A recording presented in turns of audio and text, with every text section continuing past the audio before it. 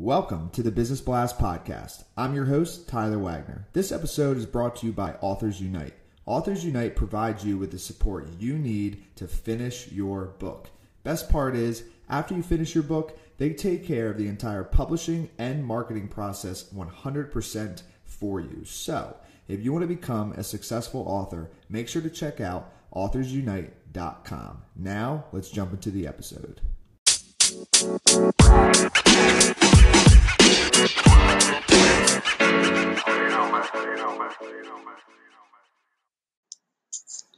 All right, everyone. Welcome back to another episode of the Business Blast podcast. I'm your host, Tyler Wagner. Today I have Kristin Gallucci with us. She is a brand and marketing strategist. She has been helping Fortune 500 companies, mid sized businesses, and startups turn their brands into icons for 20 years. She is also a LinkedIn expert and has been recognized as an influencer in the social realm. So, welcome to the show. Thank you, Tyler. I'm happy to be here. Of course. Grateful to have you on. So let's jump into the first one, Kristin. The first one I got for you is what is the best story from your life that has an underlying valuable message?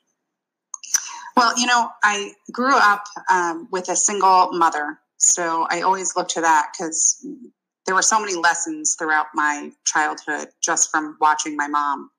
And she really never showed weakness. So while I'm probably tougher at times than I needed to be uh, throughout my career, um, I definitely attribute that to her. Is knowing that I'm always stronger than I think I am. Um, that's kind of the message that I've taken away from that. Mm. She never let me believe she was struggling or had difficulties. Mm. And now I look to that as a guide to know that I'm stronger than I think I am. And what is the most valuable piece of information we should know that's within your expertise or industry? Well, as you can imagine, uh, personal branding is kind of the buzzword right now, and I often get eye rolls when I mention the word personal branding. But the truth is that everyone has a brand, and really what you do with it is what makes the difference. Um, what I can tell you is that those with a strong online and in person presence always have more success. So I see no reason why not to expand your personal brand and really, um, you know, focus on it and make it work for you. And it could tie in, but what's your best piece of overall business advice? So, not necessarily industry specific.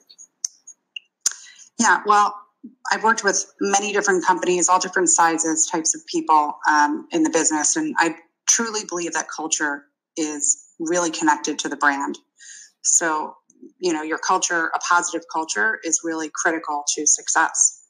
Um, and I, you know, I believe that starts with the hiring process and continues through the life of someone being in a company, but it's also how people exit the company that is also important. They carry your message of your brand forward.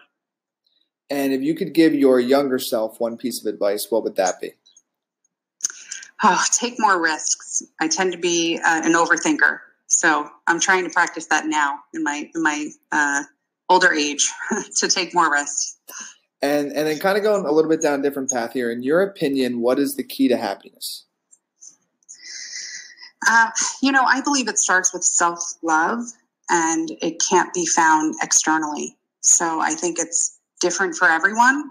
For me, it's it's my kids watching the joy my kids have. Um, but I think it starts with really caring about yourself and taking care of yourself. And what is the best book that you've read, and what was the number one thing you learned from that? Well, I've read a lot of incredible books, but most recently I read The Subtle Art of Not Giving a an F by Mark Manson.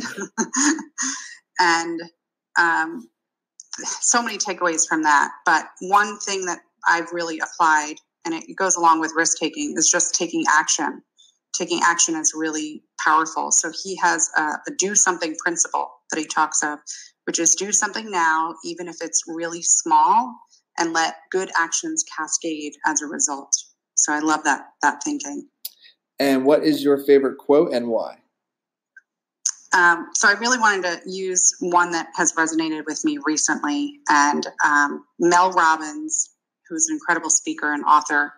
I love her. She actually has a new talk show coming out now too. I resonate with her, and she talks about confidence as not being a belief in self, but being the will, uh, being the willingness to try. So I think you know, when people look at confidence, they often say, what can I do to change? What can I read that will help me change? Or what can I, what can I listen to? Or what speaker will help me get, gain more confidence? But really it's just about taking that action and taking that risk and trying something that brings confidence. Yes. Well, listen, thank you so much for coming on. The last one I have for you before we let you go is where can our audience best find you online? Well, thank you for having me. I appreciate it. And uh, the best, easiest place is probably LinkedIn in uh, linkedin.com slash in slash Kristin Gallucci. Or, and I'm, then I have a website that's under construction right now, but it's kristingallucci.com.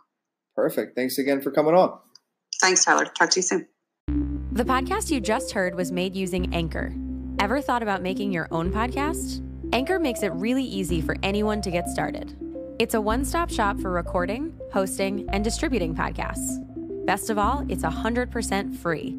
Sign up now at anchor.fm slash new. That's anchor.fm slash new to get started.